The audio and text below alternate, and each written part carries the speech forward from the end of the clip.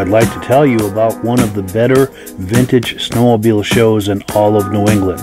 It's the Crane annual Vintage Snowmobile Show and Cookout that occurs the first Saturday of February every year. This year, 2020, that falls on February the 1st. And this is a great show you won't want to miss. It's in Lancaster, New Hampshire, and the setup for exhibitors begins at 8 a.m.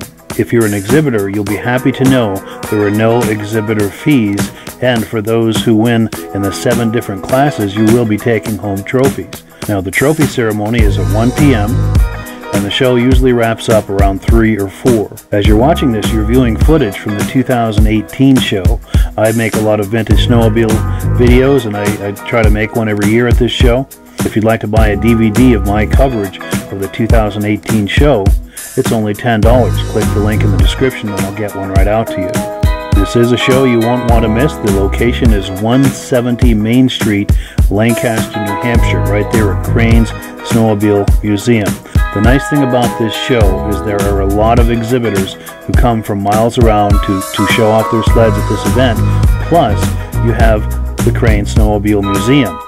So you're able to walk inside the museum and see the snowmobiles inside, plus there are all of the exhibitors with their sleds outside. And if you get hungry, there's food and drinks available. I look forward to seeing you there. Thanks for taking a look and have a great day.